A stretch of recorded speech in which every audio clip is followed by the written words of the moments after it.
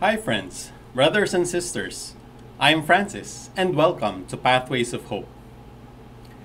Our gospel for today is taken from John chapter 15, verses 12 to 17.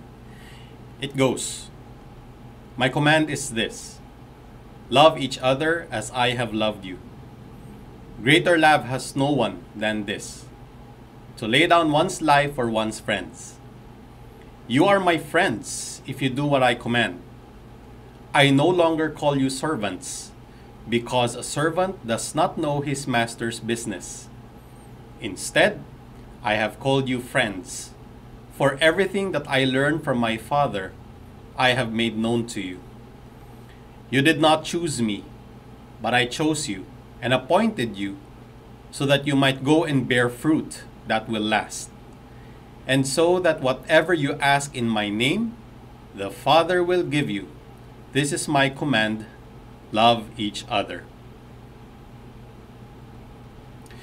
As I was reflecting on this passage, I recalled an old movie called Bicentennial Man.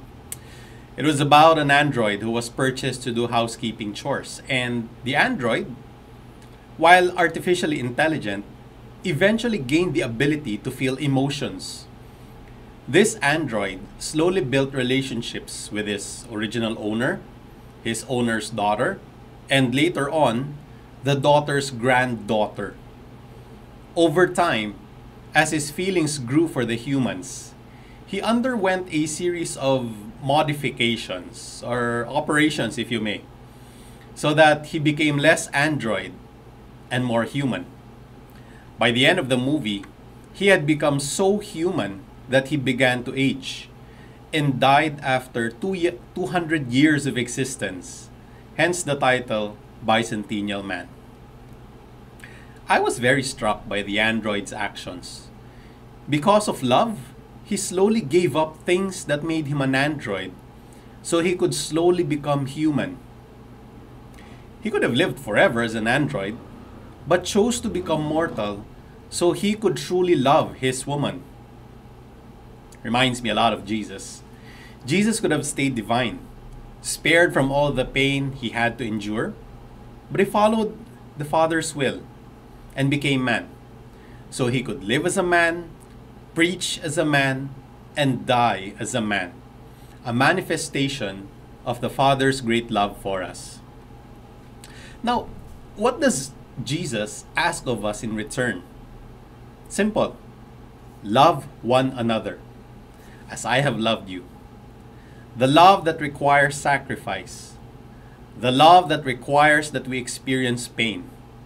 The love that requires that we die to our own selfish needs and desires so that we can be of love and service to others. If I may suggest four actions to show our love for others. Number one, live for others. Live a life where you can be of service to others. To give without expecting anything in return. To give without counting the cost. Slowly let go of your personal entitlements and just receive what the world is willing to give you. Number two, obey. Jesus commissioned us to go and bear fruit. In verse 8 of John chapter 15, it says, this is to my Father's glory, that you bear much fruit, showing yourselves to be my disciples. As disciples, we are expected to remain in Jesus as he remains in us, and do the disciples' work of spreading the good news of salvation to all. Number three, value everyone. When Jesus said, Love each other, there were no conditions attached. He didn't say, love the other believers, love the other Christians, love those who are like you. That means we are called to love everyone we come into contact with. No distinctions, no biases, no prejudices. That includes our enemies. Very recently, we had our elections. And in the months leading to that, we may have had some arguments and maybe even falling outs with some of our friends and loved ones because of political differences. I encourage you mend relationships with those to whom you have strained ones. God allowed us to have relationships with these people, and while we may never be sure of the reasons, we can only trust God that He has specific reasons for these relationships.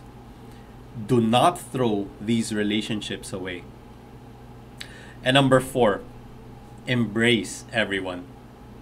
Accept everyone for who they are.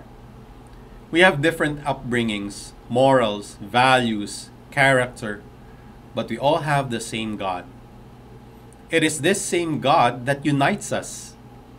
Let us learn to accept these differences, for it may well be these differences that will help us to grow even more in love with God and with each other.